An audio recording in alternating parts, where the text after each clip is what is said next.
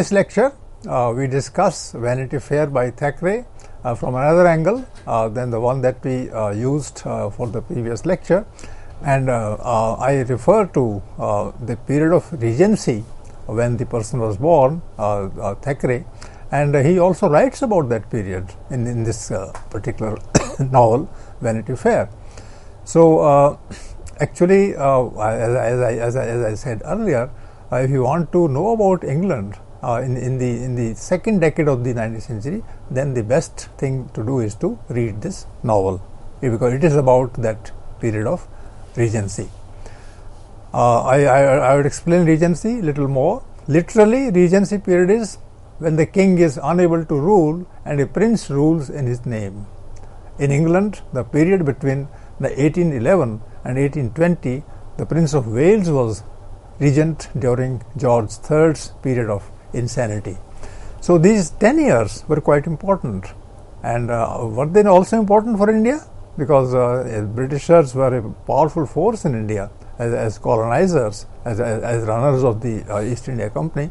And you would find that uh, this is a very creative period for India also, the, the, this Regency period. And uh, you know, for instance, uh, Vanity Fair, the writer of the Vanity Fair is born in Calcutta and uh, he is born to uh, an official of uh, East India Company. And uh, then, you know, this, this writer uh, also expresses uh, through his sensibility the vitality of the period in which he was born, and this period is taken up seriously, is taken up for depiction in this novel. And you will know that everybody is educated, everybody is well read, everybody is pungent, Every, uh, some people are in it, you know, who are vain, who are arrogant, and all of them, you know, live a life different from the life that was lived in the colony that they ruled. So, uh, this period is picked up in this novel. The time was marked by great socio political and economic changes, and those changes also occurred in India in the sense, you know, that uh, British policies were being, uh, you know, formed for keeping India uh, uh, formed with the, keeping India in mind at that time, and uh, you know that uh, a kind of modernism, modern outlook, modern ideas, modern values, that modernism set in in India also. Uh, the this particular period that this novel depicts also is the period of the beginning of social reforms in India, and uh, you know company officials who came with their families, and you know English language was introduced in a systematic manner in the in, in, in this period, and uh, you know English literature was made available to people in India, and uh, you know uh, that English literature uh, had a large chunk of romantic poetry in it, and that romantic poetry also started a kind of a trend in Indian writing uh, in, in the early part of the 19th century. All this that is at the background of the uh, framework of this novel. This novel is about England at the same time as they are becoming powerful policy makers in the country of their uh, country of, of, their rule that, that, that they are you know uh, at that point of time maintaining. The later works of this person include Pendennis, a Bildungsroman presenting the growth of the character of Arthur Pendennis, alter ego of Thackeray. So uh, he writes this novel, uh, and this is an autobiographical novel. And there, you know, he's talking about himself. In fact, you you would re- realize that when you read uh, this person's writing, uh, writings in general, and this writing in particular, then you'll know that there is a kind of sequence. You start learning something about society, and that learning is as much your learning as as much my learning as it is the learning of the author. So the author is exploring the period that is picked up for depiction. So he is that kind of a writer, and you can see Bildungsroman uh, in all his writing. But then uh, the writing which is about oneself and uh, one's one's growth that that actually is the Bildung, Roma* novel. Thackeray is compared with Dickens. Both reflect the reality of the 19th century English society. Now uh, we are getting closer to uh, the, the, the writing of Thackeray and then the writing is compared with Dickens. You know, they are contemporaries. You know, Dickens also is a 19th century writer. Uh, Dickens also uh, talks about uh, people uh, critically. Uh, he shows people in, in their true colors. Uh, there are differences between Dickens and this person. Dickens is satirical, but he's also humorous. So, but so far as this writer is concerned, he is mainly satirical, but not exactly humorous. There are human beings in both the novels, and uh, in, in, one novel, that is uh, Vanity Fair, the, the, human beings have their weaknesses. In Dickens's case, uh, there is also a kind of uh, goodness about human beings, uh, particularly in the poor people, and that way, even though they are contemporaries and both write about the society of their time, their interests differ. So that is to be kept in mind that so far as reality is concerned, both of them share the reality of the 19th century uh, in their novels, but their attitude is different. So that is to be kept in mind. This will in fact help us understand not only Dickens better, but uh, uh, not only uh, you know Thackeray better, but also Dickens, because the same period is being captured by both of them, and since their angles are different, uh, Dickens is uh, more ostensibly humanist, and this person is more uh, this this person is more intellectual uh, in his attitude and he can tell you about the faults and frailties of human beings. So uh, i would say that both the writers uh, will be very educative uh, in, in their influence. And uh, both of them share the century.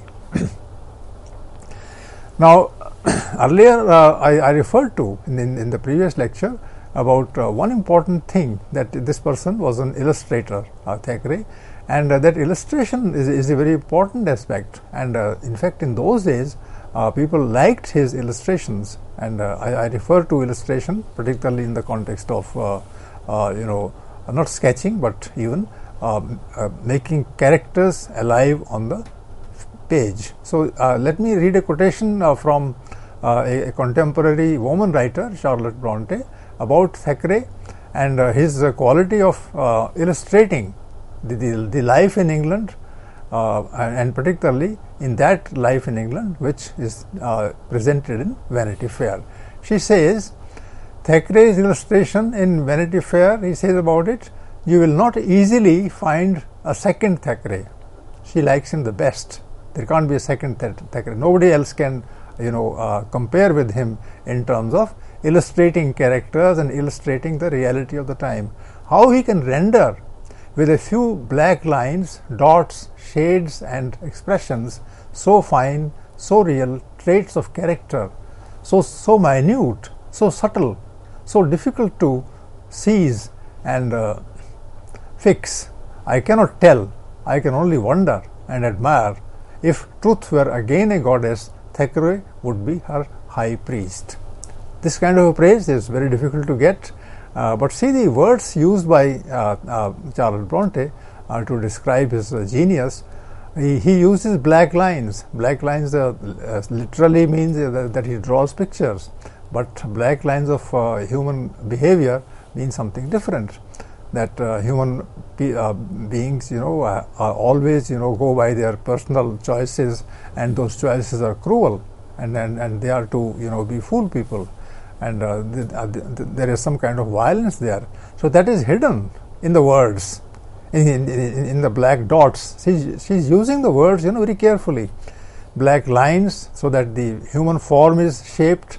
Dots, dots can be uh, uh, shortcomings, shades, and expressions and expression also can mean so many things. It, it can mean an expression of a face that is painted on the page, and expressions can also mean the ideas that one articulates through one's behavior. So fine, so real. Fine means subtle. So fine, fine means you know that uh, if you have if you have to understand things, then you focus upon them, then you think about them, then you compare one with the other, and then reach the truth about both. That is so fine. So real Real means that they, they are rooted in reality and they, rela- we, we, they are relatable. We, we, we can see them in our own case and then we become you know awakened in ourselves to understand what exactly is the author meaning. Traits of character.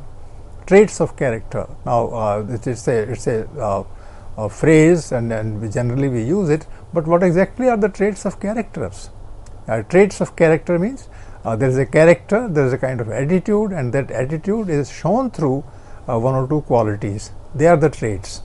And there is there she says that they are so minute, so subtle, so difficult to seize and fix. If you start uh, asking questions uh, like uh, from a critic about this novel as to how this novel appeals to uh, to him or her, then that person cannot tell because these things are shown, but they are, they are not uh, expressed through words. So she is full of wonder as to how you know this person can create characters in such a manner that you are dumbfounded. That, that, that, that you are, you, you, the, he, uh, he has cast a spell over you and, and you just, just do not know what to do except to uh, take the uh, word that he is giving you for description.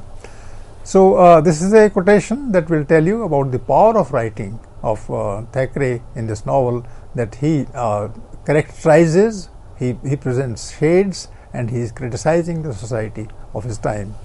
Thackeray was a shy and diffident man. This is how you know Thackeray is being described by another person, uh, reserved and very sensitive, and we feel that never either on paper or to his friends did he wholly reveal himself.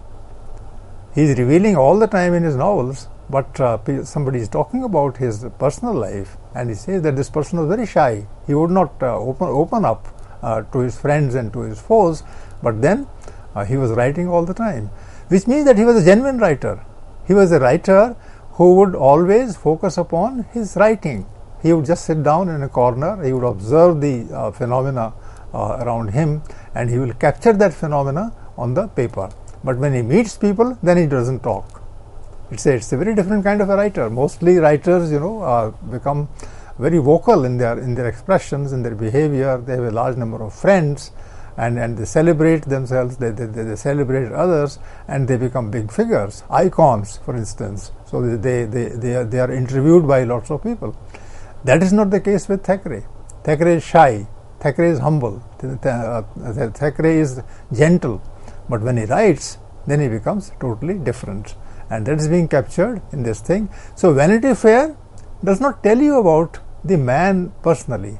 It, it, tell, it tells you about his skills, it tells you about his attitude, it tells you about his values, but it doesn't uh, tell you about the kind of person that Thackeray was, Thackeray as a human being. So that is being uh, pointed out here.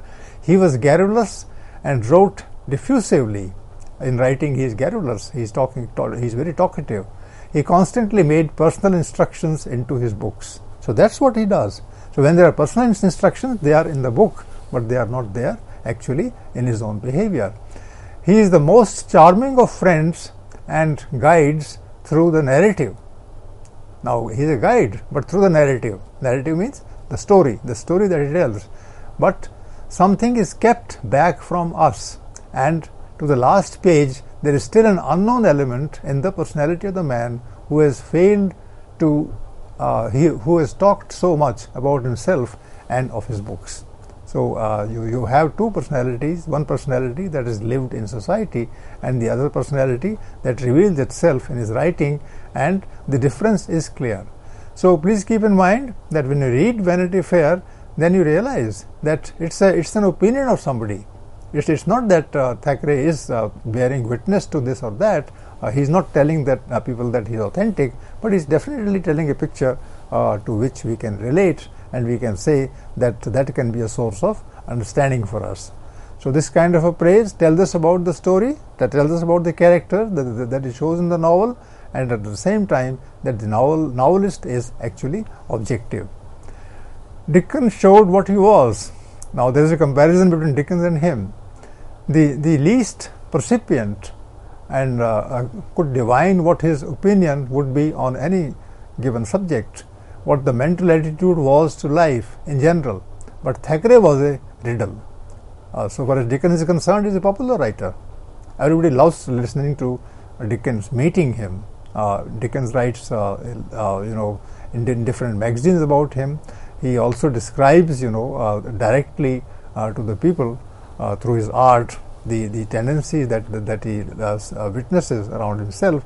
But that's not the case with this person. He will only write he will not tell. He was alternately accused of cynicism and sentimentalism. At one time, he was unfeeling and represented life as worse than it was. At another, he was inclined to hope too much in human nature. So that is about Dickens, and uh, Thackeray was actually riddle. He will not be generally seen in this manner. now, this, this, this is a long quotation. I'm, I'm cutting it because uh, th- this will take a lot of time. Uh, he is uh, uh being uh, compared with and contrasted with Dickens, and then uh, th- there is something gentle about him, about his manners, and that is to be kept in mind. But imagine that when you see this contrast this vision with what he says in Vanity Fair, then the gap is quite clear before us. Then we know that the person was genuine outside and inside here he was a critic of the society and there he is unfaltering uh, in his in his criticism. Then the point that I particularly want to take up to us this may appear to be a strong indicator of the novel itself. This is what I am pointing out that such a person is writing about the society of his time, which means that he has seen the society and that he is, he is bearing witness to it and he is authenticating it by his gentleness. So he is gentle personally, he is, he is, he is well behaved personally, he is, he is urbane uh, uh, uh, personally, but when it comes to writing, then he finds that these things are missing in the world in which he lives. So, in a way, there is a strong connect between uh, the, uh, the, the, the person that, that, that is a writer and the writing you know the, that, that this person shares with us. Look at the way the characters in the novel are sketched. They, they, are, they are presented as totally independent of the uh, uh, writer. They have their own life to live, their, their own you know uh, prejudices to suffer from, and uh, there you know uh, the, the writer is not helping us either one way or, or the other. When contemporary critics found Vanity Fair too dark a metaphor for the times, Thackeray responded saying that he saw people, for the most part, as abominably foolish and selfish. When, when he was criticized that, that you know he was not, not holding out any hope, then he said, What can I do? Uh, whatever, whomsoever I see in life, I find that person abominable, uh, worth hating, foolish, because there's no wit in them. They, they, they don't understand things.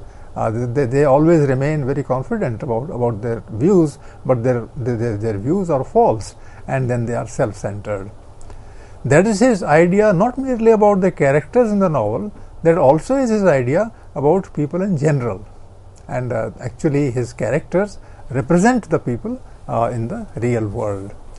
Is that actually so? Uh, you, you read the novel, uh, you, you, read the episodes, you, you, see Becky Sharp, about whom I uh, you know talked in, uh, briefly earlier, and then you realize that there is a Becky Sharp everywhere in almost all women uh, of England in the 19th century. That they are as scheming and, and, and, and, and they are as intelligent and as wicked as, as Becky Sharp is. And uh, in fact, the other part is that if you are not scheming, if you are not wicked, if you are not intelligent, then you can't survive in the world. So Becky Sharp is not actually being criticized in the novel. She is being presented as a figure uh, who is actually a victim of the circumstance uh, that, that she has to face. So if you are not intelligent, how do you understand the 19th century? 19th century, which is the, the century of the blind people. Uh, you see, she interacts with one family, then with another, then then there is a third set of characters, and she is a young woman and she finds that there is not a single person you know worth falling in love with.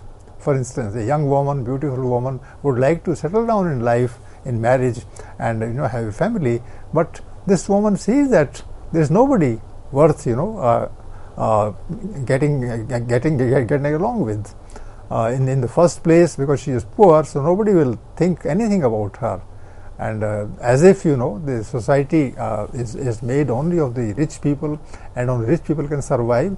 And so far as the poor people are concerned they can go wherever they like but they will not be accepted. This is the truth of the 19th century and how to say it. Uh, there are many ways of saying it. Uh, other other writers say it in one way but this person says through uh, an apparently vile character a, a, a vicious character. And uh, because the people she is surrounded by are, in his words, abominably foolish and selfish. And when he says this, then he says not about uh, one or two people or one or two sections, but about the whole society. The 19th century is a, is a society of foolish people and selfish people. Is he right or wrong? This, the, this is the question uh, that, that the novel poses. And uh, I think most of us have to agree that 19th century Victorian society, for instance, the, the Victorian sensibility is the sensibility of those who are asinine, who, who are foolish, and uh, who all the time mean harm to others and uh, mean, you know, that uh, they, they, they have a kind of superiority which others lack. the subtitle of the novel was, as I said earlier, a novel without a hero. It has two meanings. One, one is that uh, there, there's no important hero, a male, male figure who can move around and uh, impress people. And the other thing is that actually in the 19th century society, heroism is missing. That uh, the, uh, the uh, heroes are not there. Those, those people who can carry people along, who, who can uh, you know become symbols of valor, real valor, symbols of sympathy uh, symbol, symbols of uh, high attitude, those people are not there. Their missions are not good. Their missions are not inspiring. It's not like those ancient heroes uh, who would you know lead tribes, who would lead countries, who would uh, you know fight wars in order to realize themselves or to realize ambitions of the society to which they belong. That heroism is gone once and for all. It might have been there in England in the 17th century. It might have been there in England in the 16th century. In the 18th century, heroism was mock heroism actually, and when it came to the 19th century, then the society was without a hero. So this novel makes this point very sharply that, and you say that's the subtitle of the novel: Vanity Fair, uh, colon a novel without a hero. So you don't have heroes. So hero means action. Hero means dynamism. Hero means uh, you know uh, values that will inspire you those values are not there in society and therefore the society is meant to die. It meant, for instance, uh, that all the characters in the novel had one or other blemish and flaw. For him, all had to do with greed. So you can, whosoever you meet in Vanity Fair is, uh, has, has some kind of greed in him or her. Idleness, they don't have any work to do. Snobbery, they, they look down upon others and, and think of themselves very high. This was supposed to be a sort of realism providing portraits of the people as they were in reality. So, this is the point that I want to make that so far as Vanity Fair is concerned, it is actually Vanity Fair. The, the, the, the uh, uh, incidents that are depicted in the novel are depicted not in the, that kind of reality where you go and uh, empathize with people. Actually, it's a fair people get together at, at, at, at a, uh, in, in, in, large ground and, and they are just moving about singing and dancing and uh, you know playing roles. So most of the people in the in, in, the novel are as if they were playing roles. They were players. They were actors. And they were there to enjoy life and enjoy life as people enjoy life in a fair. And uh, what is the crux of the fair?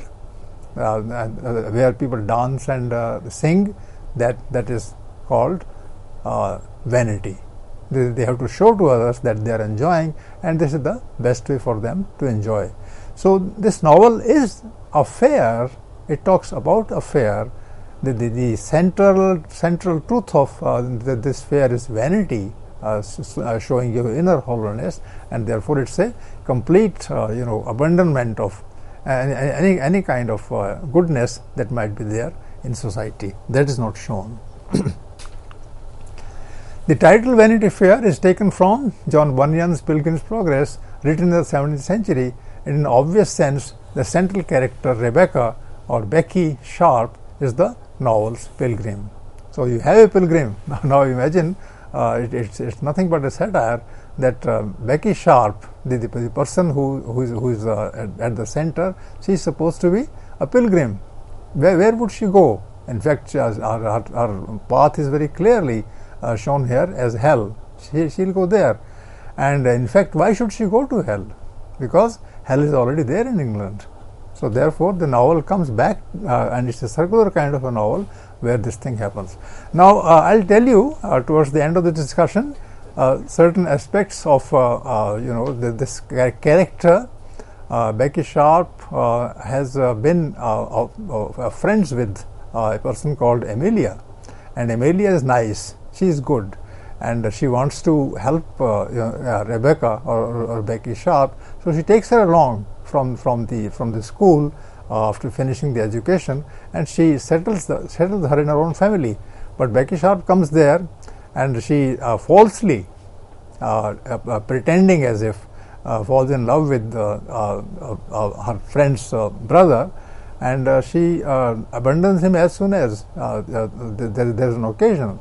Then she has another affair, and uh, then she wants to cheat on her own friend, um, uh, and uh, and has an affair with, with, with the, the friend's husband and there also she is not happy, then she leaves that place and goes elsewhere. So she is changing people, she is changing friends, and each each friend she changes well deserves it.